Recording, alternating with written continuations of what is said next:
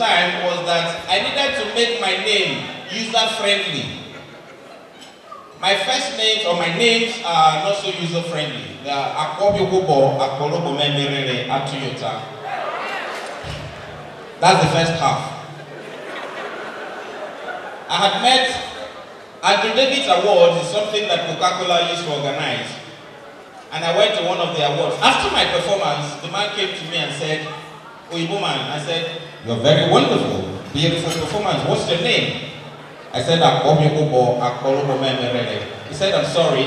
I said, Akobyogobo. He said, no, I heard you the first time, I'm just sorry.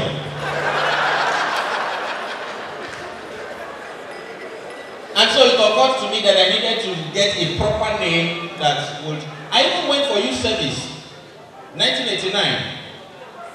When I went for youth service, I was posted to Abuja Council for Arts and Culture. I got there and we all submitted our letters.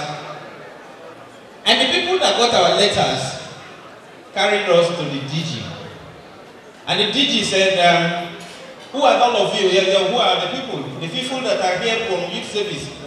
And he said, well, see, everything that we will pay is 70 naira. 70 naira, you take it or you leave it.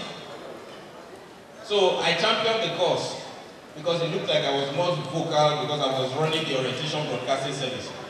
I said, sir, we can't take 70 naira. Uh, at uh, presidency, uh, they are paying everybody 300 naira. At Abuja Sheraton, they are paying them 150 naira they give them accommodation. At uh, the man said, you that is championing everybody's push, what is your name? I said, Akobikobo Akborobo Memerere.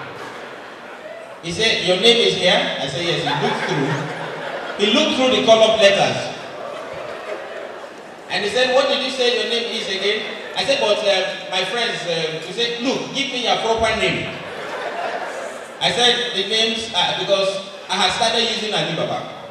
So when I introduced myself to him as Alibaba, he felt like, no, Alibaba is not your name, it's a style name. So what is your proper name? So that was why I gave him Abobi akpɔ ɔlɔpɔ fɛn mɛrɛ atiyɔta.